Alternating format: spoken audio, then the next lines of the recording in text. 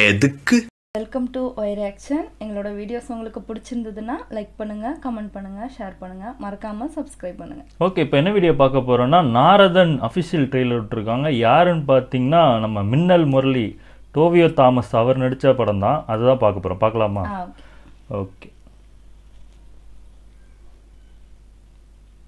നമ്മൾ ബ്രേക്ക് ചെയ്ത കേരളത്തെ നാണം കെടുത്തുന്ന തരത്തിൽ ഒരു മന്ത്രിയുടെ പെരുമാറ്റത്തിനെതിരെ ഇത് അമേരിക്കയോ യൂറോപ്പോ അല്ല ഇത് ഭാരതമാണ്. നിങ്ങളുടെ ഈ സൈലൻസ് അല്ല എനിക്ക് വേണ്ട ആൻസർ ഇന്ന് ഏഴര മണിക്ക് അവരുടെ രണ്ടാമത്തെ ബ്രേക്കിംഗ് ഇന്റർവ്യൂ എയർ ചെയ്യും ഇതിന് വാർത്തയുടെ എത്തിക്സ് ഒന്ന് നോക്കണ്ട.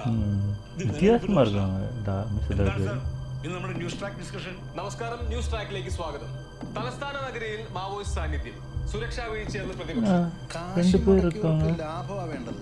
അയാളുടെ സ്ഥാനത്ത് ഞാനാണെങ്കിലും ഇതേ പറയത്തുള്ളൂ. ഇന്നത്തെ ടി വി വാർത്തയാണ് നാളത്തെ പത്രം.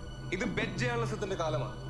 ആരോപണം ആദ്യം വിശദീകരണം രണ്ടാമത്. അതെ ഈ കൊന്തയെല്ലാം നാക്കൊണ്ട് തന്തയ്ക്ക് വിളിപ്പിക്കരുത്. തനിക്കൊരു ധാരണ ഉണ്ടാവും. താനാണ് ഈ ചാനലിന്റെ മമ്മൂട്ടി മോഹൻലാൽ എന്നൊക്കെ ചന്ദ്രപ്രകാശോ നിന്റെ പ്രകാശമൊക്കെ പോയല്ലോടാ ചന്ദ്രപ്രകാശിനെ അങ്ങനെ അണ്ടർസ്റ്റിമേറ്റ് നിന്നെ ആ കുറിപ്പെടുത്ത് പൊരിച്ചെന്ന് പറഞ്ഞത് ശരിയാണ്. എടാ രണ്ട് കിട്ടില്ല സ്റ്റോറി കിട്ടിയാൽ നമ്മൾ രക്ഷപ്പെടും. സാറെ സ്റ്റോറി കിട്ടണമെങ്കിൽ റിപ്പോർട്ടർമാർക്ക് ശമ്പളം കൊടുക്കും നിനക്ക് ശമ്പളം തരുന്നതിനനുസരിച്ച് വണ്ടിക്ക് പെട്രോൾ അടിച്ചു കൊടുക്കും. കൈടാൻ ഡേപ്പ് ഏതാ കോപ്പ ഏതാണെന്ന് അറിയാൻ പാടില്ലാത്ത ചാനൽ തുടക്കാൻ എങ്ങനെ ഇരിക്കും. ഒരു താൻ തള്ളയത്തുനിന്ന് ന്യൂസ് കൊടുക്കുമ്പോൾ മറ്റവന്മാര് തന്തയത്തുനിന്ന് ന്യൂസ് കൊടുക്കും.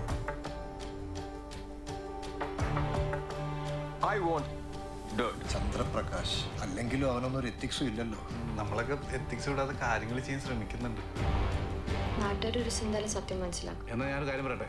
സംഭവം സത്യമാണ് അമ്പത് ശതമാനം സത്യമാണ്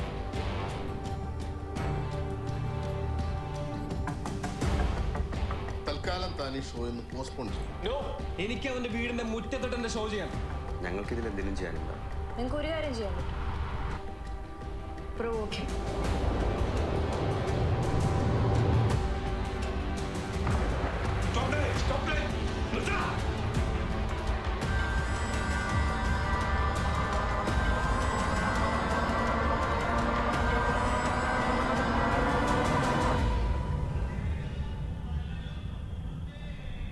M T Vasudevan Nair K G Sankarapillai P Govindapillai M P Narayanapillai Thakazhi Sivasankarapillai മനസ്സിലായോ അതെ നിങ്ങൾ ഏത് കാര്യത്തിന്റെ കാര്യം പറയുന്നത്